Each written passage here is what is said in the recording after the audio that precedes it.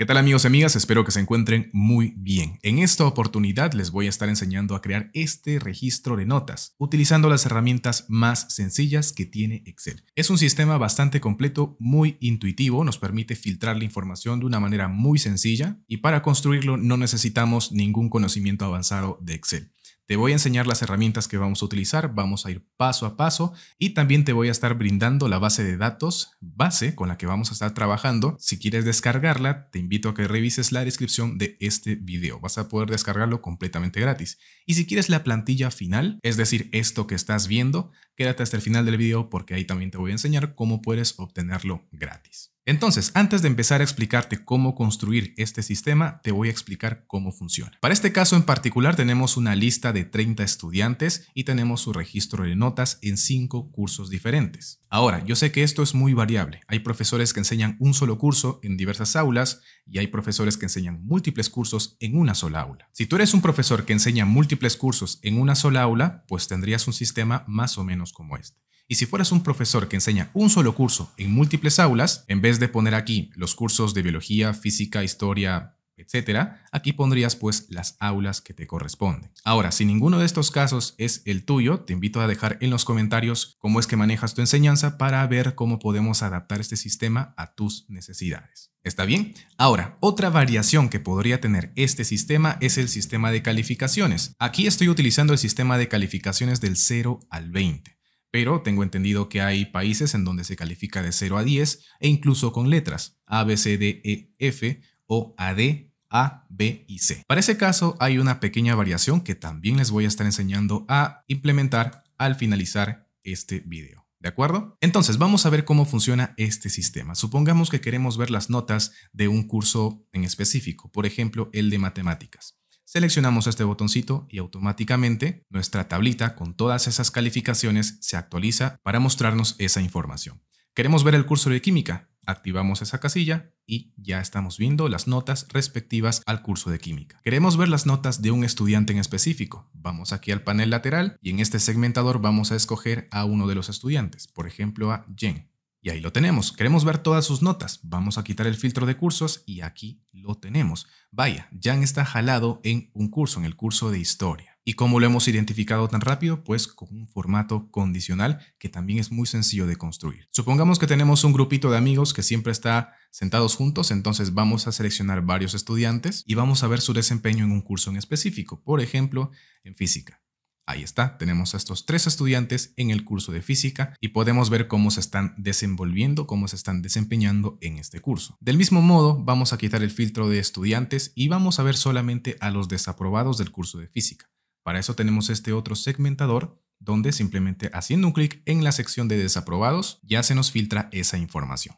Como te puedes dar cuenta, es un sistema bastante intuitivo, bastante interactivo y en el que estamos utilizando herramientas de Excel básicas, elementales. Aquí no hay nada del otro mundo, no hay tablas dinámicas, no hay macros, no hay funciones complicadas. Simplemente es una tabla a la que le hemos aplicado un formato condicional y a la que además hemos implementado algunos segmentadores que podemos añadir únicamente con un par de clics. Entonces, vamos a estar construyendo en este video este sistema y lo vamos a estar haciendo paso a paso. Y vamos a empezar entonces con nuestra pequeña base de datos, esta lista de nombres. ¿Estamos listos? Comencemos.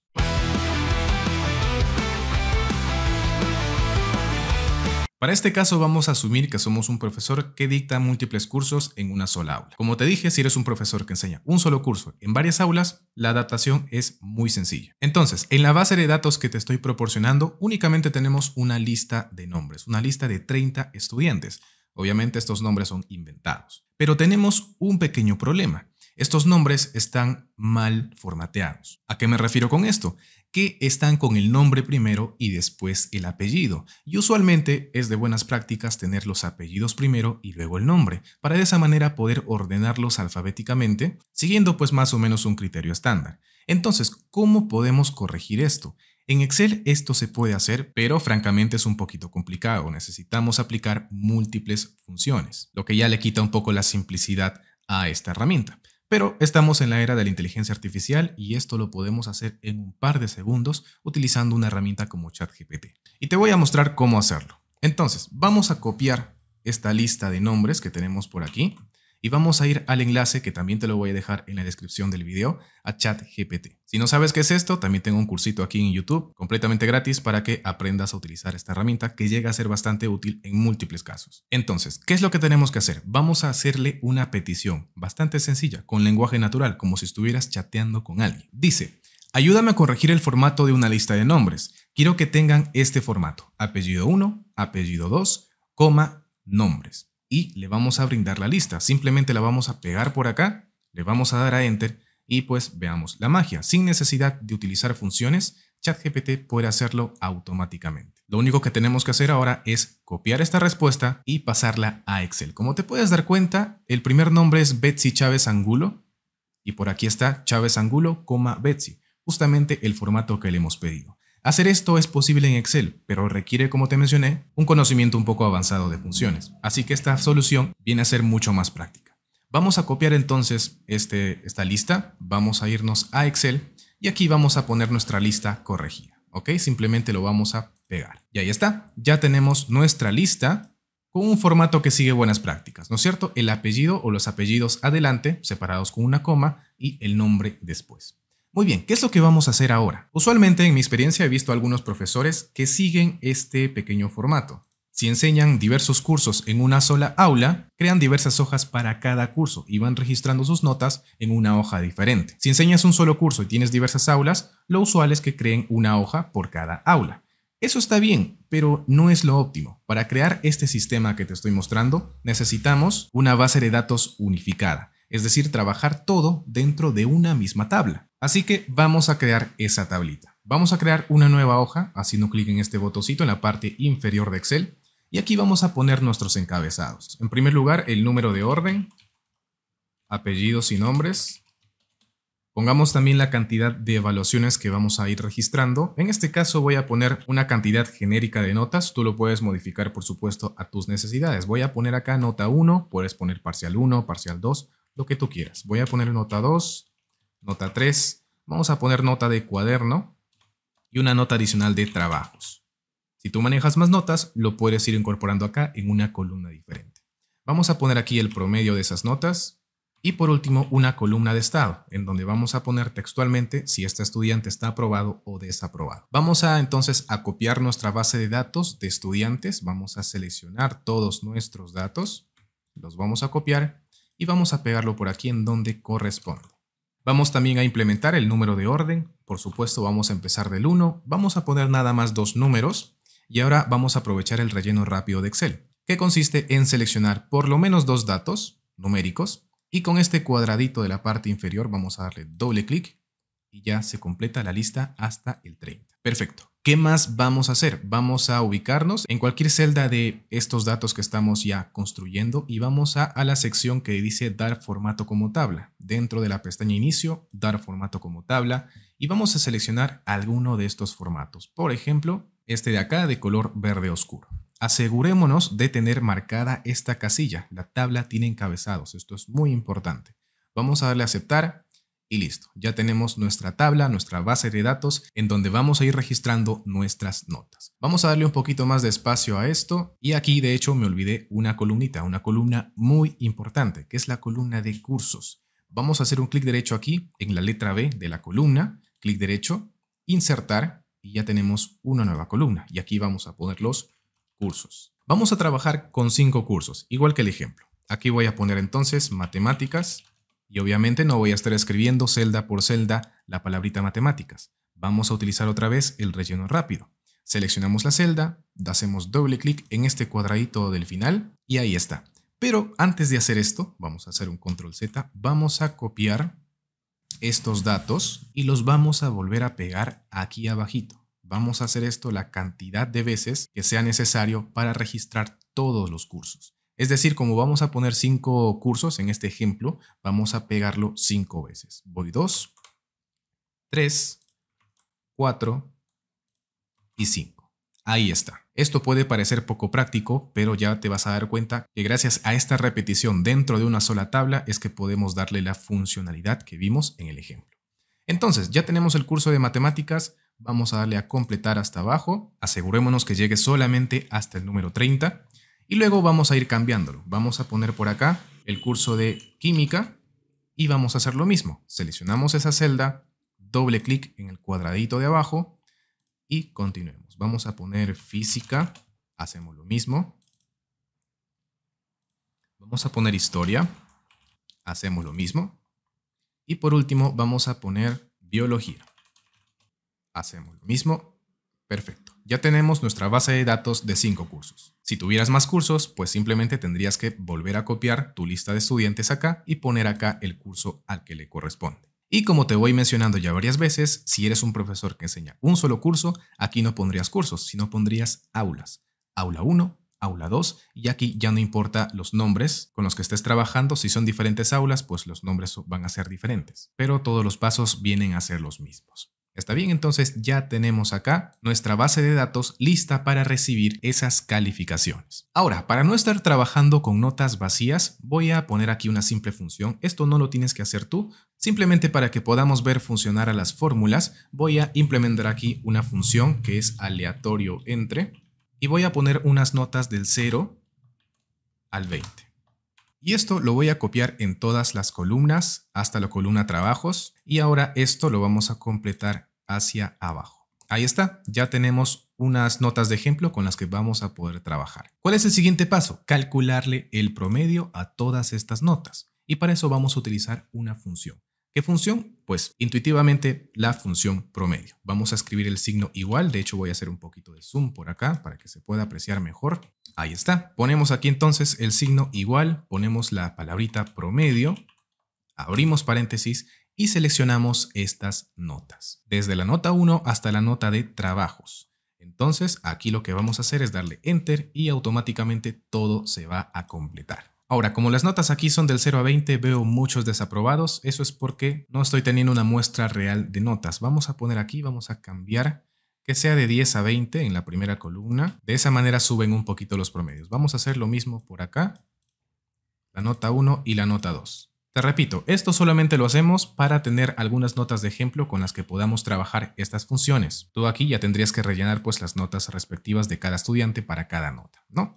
Perfecto, ya tenemos entonces el promedio, ahora vamos a implementar una función condicional. ¿Qué es una función condicional? Es básicamente una fórmula de Excel que nos permite evaluar una condición. Si esa condición es verdadera, nos va a dar un resultado. Y si esa condición es falsa, nos va a mostrar otro resultado. En Excel tenemos dos tipos de herramientas condicionales, o por lo menos las más importantes, que son las funciones, la función sí principalmente, y el formato condicional. Ambas herramientas siguen un mismo principio, evaluar una condición. Si la condición es verdadera, en el caso del formato condicional, no se va a ejecutar ninguna acción, simplemente va a cambiarle de color, va a cambiar el formato de la celda en donde esté incorporada ese formato condicional. En cambio, cuando utilizamos una función como la función sí, aquí sí que se ejecuta algo más. Si la condición es verdadera, pues se va a ejecutar lo que digamos o lo que hayamos planteado en la función. Y si es falsa, la otra opción. Entonces, ¿qué vamos a necesitar acá? Una función, porque yo quiero que aquí aparezca la palabrita aprobado o desaprobado de acuerdo a si esta nota es aprobatoria o desaprobatoria. ¿Está bien? Ya cuando tengamos esto implementado, vamos a aplicar el formato condicional, que va a ser casi lo mismo, pero que en vez de poner aquí una palabrita, simplemente va a pintar de otro color a esa fila. Entonces, ¿qué función vamos a utilizar? Y aquí les recomiendo habilitar el asistente de funciones. ¿Cómo hacemos eso? Haciendo un clic en este botoncito de FX que tenemos por acá y esto va a abrir esta ventanita en donde vamos a seleccionar a la función sí. Ojo, tenemos que estar dentro de la celda donde queremos incorporar esa función y siempre tiene que ser la primera celda de esa columna, sin contar el encabezado, obviamente.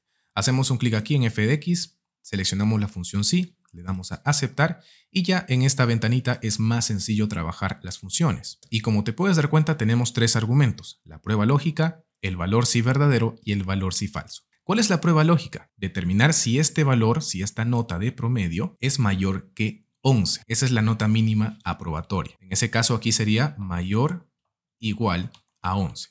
Si esta nota es mayor o igual a 11, entonces debes mostrar la palabrita aprobado. Y si esto no se cumple, si la nota es menor que 11, vas a poner la palabrita desaprobado.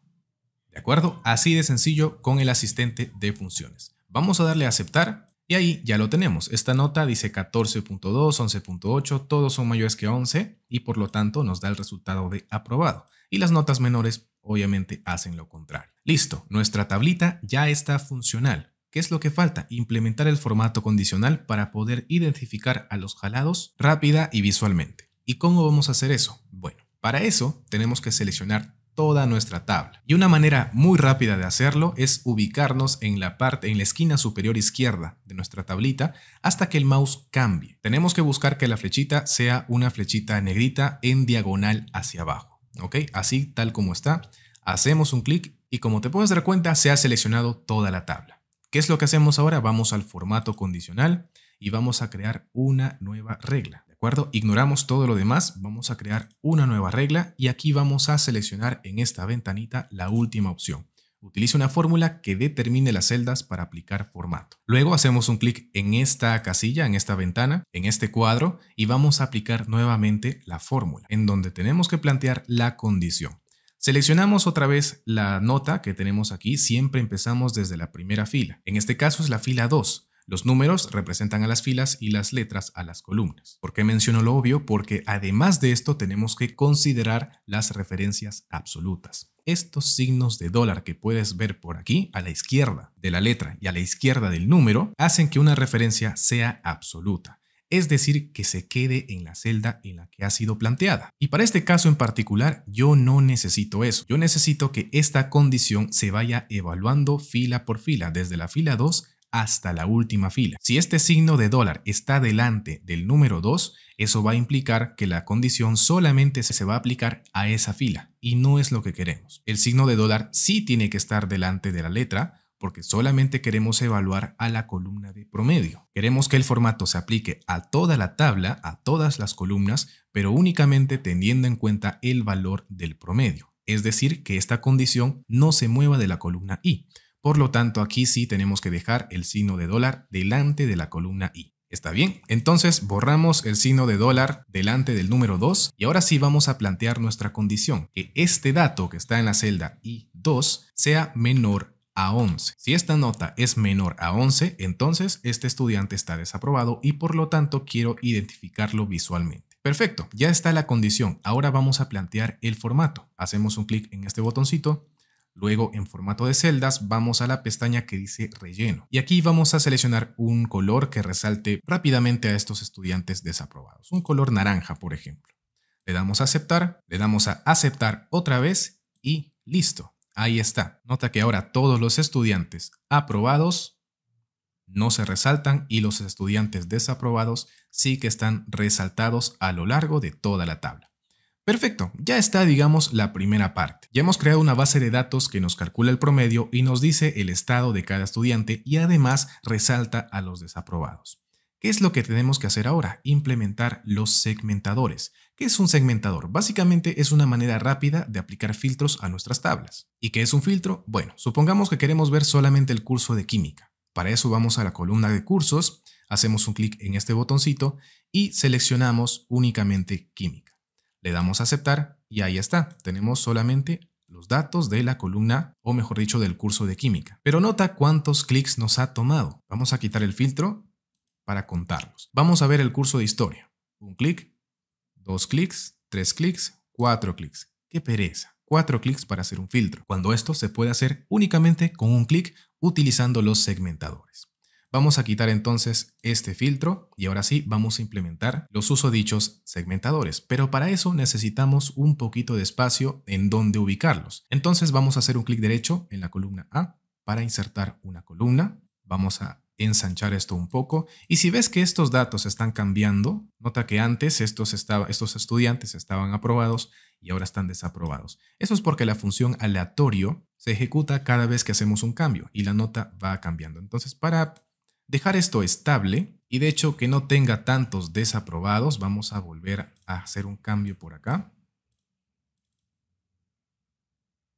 Vamos a seleccionar todos los datos de estas cinco columnas, lo voy a copiar y ahí mismo, sin hacer nada más, voy a seleccionar en esta flechita de pegar y pegar únicamente los valores.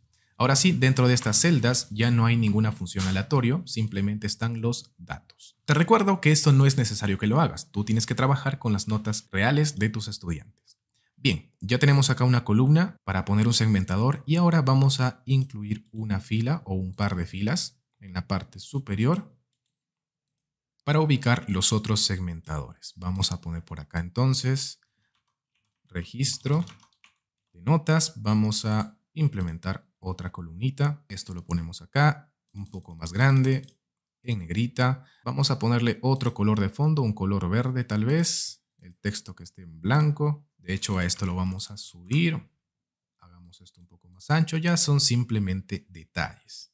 Listo, ahora sí, vamos a hacer un clic dentro de nuestra tabla y vamos a ir a la pestaña Insertar. Acá vamos a buscar a la opción que dice Segmentación de datos. Hacemos un clic ahí y nos va a salir una ventana en donde están los encabezados de nuestra tabla. Nota que tenemos encabezado del número de orden, de cursos, apellidos y nombres, todo está por acá. Y lo único que tenemos que hacer ahora es seleccionar las columnas que queremos filtrar. Por ejemplo, cursos, apellidos y nombres y por último, la columna de estado. Vamos a darle a aceptar y listo. Aquí están nuestros segmentadores, a los que simplemente ya tenemos que ubicar. A los cursos lo vamos a poner por aquí, en la parte superior de la tabla. A los nombres los ponemos en la parte izquierda y al estado lo vamos a poner en la parte superior derecha. Claro que esto ya es mera estética, depende de ti dónde quieres colocar tus segmentadores. Eso sí, tenemos que personalizarlos un poco. En primer lugar, vamos a cambiarle de color. Nota que al seleccionar uno de estos segmentadores se habilita la pestaña contextual de segmentación. Aquí vamos a hacer un clic en esta flechita para ponerle pues un color consecuente con el tema que estamos utilizando, que es el color verde. Ahora, nota que solamente sale un botón porque los botones están dispuestos verticalmente. Entonces vamos a crear más columnas. Dentro de esta misma pestaña segmentación vamos a poner cinco columnas. Así de sencillo, así de rápido. Vamos a adaptar esto, como damos el tamaño y listo. Ahí está. Vamos a hacer lo mismo con los otros segmentadores. Vamos a cambiarle de color a un color verde. Vamos a extender esto hasta abajo y de hecho vamos a disminuir el alto de estos botones para que entren más nombres en menos espacio. Vamos a ponerle 0.5 centímetros. Perfecto. Vamos a hacer esto un poquito más amplio para que entre los nombres. Ahí está. Y vamos a hacerlo también más alto para que entren todos los nombres y deje de aparecer esta barra de scroll. Ok, ahí está, el último es Walter, perfecto, ya tenemos entonces nuestra lista por acá, la lista de cursos por aquí, y por último nuestro segmentador de estado, el mismo que de hecho vamos a ponerlo un poquito más a la izquierda, y vamos a hacer un poquito más alto a los botones. Por supuesto, tenemos que cambiarle el color y ahí está. Perfecto, ya tenemos entonces nuestro sistema de calificaciones en las que cada uno de estos botones ya tiene una funcionalidad. Desaprobados del curso de biología, perfecto, al alcance de dos clics. Catherine, Christian y Franklin. Quiero evaluar a un estudiante en particular, a Franklin por ejemplo. ¿Está mal solamente en biología? Vamos a quitar los otros filtros con estos botones y seleccionamos a Franklin. No, Franklin está bien en los otros cursos, solamente está mal en biología. Y eso es porque en su nota de trabajos tiene cero. Vaya, ¿qué habrá pasado acá? Bueno, vamos a seguir evaluando. Quiero ver solamente las notas de historia. Y ahí lo tenemos. Un sistema bastante sencillo, bastante intuitivo, que nos permite registrar, visualizar y aplicar inteligencia a nuestros datos, a nuestro registro de notas, para pues tomar ya las acciones respectivas con los desaprobados y también, ¿por qué no?, felicitar a los que tienen calificaciones destacadas. Aquí también podríamos implementar un formato condicional que resalte las notas más altas, ¿no? Poniéndolas, por ejemplo, de un color verdecito. Eso ya te lo dejo como reto, es exactamente el mismo procedimiento que para poner las notas desaprobadas. Solo que en vez de que la condición sea menor que 11, vamos a poner mayor o igual a, por ejemplo, 17, 16, 18. Ese ya es tu criterio. Por último, para finalizar esta clase, vamos a ver cuál es la modificación que tenemos que hacer si es que trabajamos con un sistema de notas de letras. Para ese caso, lo que voy a hacer es duplicar esta hojita. Yo lo he hecho presionando la tecla Control, haciendo un clic y arrastrándolo a la derecha. Pero también puedes hacerlo haciendo clic derecho, mover o copiar, crear una copia, mover al final y aceptar. Y ahí está nuestra copia. Ok, la voy a eliminar. Ya tengo la copia que necesito. Y aquí vamos a cambiarle notas 1 al 20 y aquí vamos a poner notas ABC. ¿De acuerdo? Muy bien. Para este sistema de notas necesitamos tener una tablita. Al costado podemos ponerlo por acá si deseas. y aquí vamos a poner nota en letras. Vamos a trabajar con el sistema de Perú que es AD, A, B y C. Cuatro notas en letras. Entonces a la mayor nota le vamos a poner 3 y así vamos a bajar hasta el 0. ¿De acuerdo? Entonces esto le corresponde a D, A, perdón, A, B y C. ¿Por qué hacemos esto? Necesitamos este cuadrito de referencias para que podamos convertir nuestra nota de promedios, porque las letras no se pueden promediar, necesitamos sí o sí trabajar con números, para pues calcular el promedio redondearlo y luego hacer el cambio por las letras respectivas. Ojo, un pequeño paréntesis. Aquí me he equivocado y he estado aplicando las nuevas fórmulas, el nuevo criterio, teniendo habilitado un filtro. Esto es muy importante. No trabajemos o modifiquemos alguna condición dentro de nuestra tabla si tenemos habilitado un filtro. Nota que aquí lo he hecho solamente con los datos del curso de historia y aquí todo está bien, solamente falta modificar el formato condicional. Pero si quito el filtro, todo lo demás está tal cual. Entonces estoy grabando esto otra vez para no confundirles mucho. Recuerden, si vamos a efectuar algún cambio en nuestra tabla, a alguna fórmula, tenemos que deshabilitar todos los filtros. Entonces, aquí voy a repetir lo que hice, que ha sido simplemente poner aquí una función aleatorio entre 0 y 3. Completo esto para todas las columnas, solamente hasta la columna trabajos. Ok, ahora sí, esto lo completo hasta el final. Perfecto. El formato condicional pone todo en naranja, ya que recuerda la condición que hemos planteado, que estos números sean menores a 11. No te preocupes que eso lo vamos a corregir ya al final. La columna de promedio no ha cambiado nada, la fórmula queda igual, pero sí hemos implementado una columna de redondeo que lo que hace es utilizar la función redondear para justamente redondear el número que tenemos en la columna de promedios a un número entero, es decir, que tenga cero decimales. Así es como tenemos que plantear esta función. Ahora, para mostrar la letra aquí en la columna de notas, hemos tenido que implementar la función buscar v. Y de hecho voy a borrar estos datos para volver a hacerlo. Entonces, aquí vamos a ir al asistente de funciones, vamos a buscar aquí a la función buscar v, le damos a ir y aquí ya nos sale. Le hacemos un clic, aceptamos y en esta ventanita vamos a implementar nuestra función. La función buscar v lo que hace es buscar un valor dentro de un rango de datos y siempre va a buscar a partir de la primera columna. Es decir, aquí lo que queremos buscar es este valor del redondeo. En este caso es el número 2. ¿Dónde lo queremos buscar?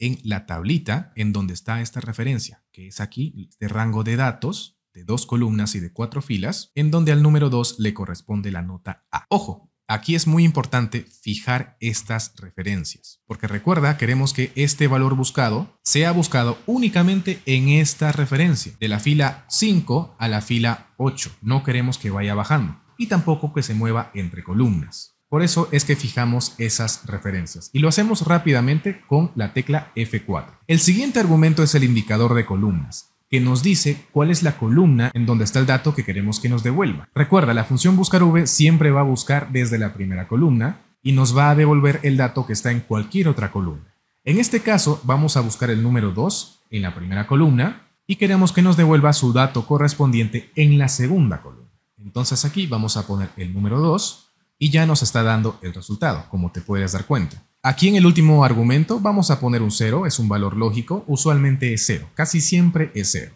Así que ponemos 0, le damos a aceptar y listo. Ahí tenemos nuestra tablita ya completa para el sistema de notas con letras. Vamos a modificar nuestro formato condicional. Seleccionamos todos nuestros datos, formato condicional, vamos a darle a administrar reglas Seleccionando esta regla en esta ventana que sale, vamos a darle a editar regla y de hecho toda la fórmula la vamos a corregir. Es igual al valor redondeado. Recuerda, queremos que esto viaje hacia abajo, entonces vamos a quitar el signo de dólar de la fila y vamos a mantener el de la columna. Y esto tiene que ser menor, o mejor vamos a hacerlo de la siguiente manera, vamos a hacerlo con las letras. ¿Ok? Vamos a seleccionar entonces la nota y si esto es igual a B, por ejemplo, vamos a ponerle un formato amarillo. ¿Está bien? O un naranja bastante opaco. Le damos a aceptar, le damos a aceptar, aplicamos, aceptamos y bueno, ¿qué pasó? Me parece que no hemos puesto bien la referencia, ¿no? Aquí vamos a darle a editar regla y efectivamente estamos con la referencia absoluta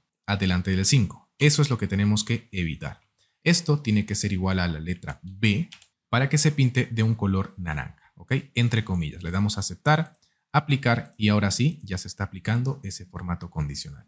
Vamos a hacer lo mismo, pero esta vez para la letra C, para la calificación C. Nuevamente seleccionamos todos nuestros datos, formato condicional, vamos a crear una nueva regla y vamos a hacer lo mismo. Con la última opción ponemos igual y este dato desde el principio, ojo, le quitamos el signo de dólar, tiene que ser igual a la letra C para que se aplique el formato, esta vez de un naranja más, más oscuro. Le damos a aceptar, aceptamos y listo. Si bajamos, aquí vamos a encontrar a un C. Ahora, vemos también algunas filas que tienen el color gris, eso es justamente por el formato de la tabla. Vamos a quitarle eso desde la pestaña Diseño de tabla y deshabilitamos las filas con bandas.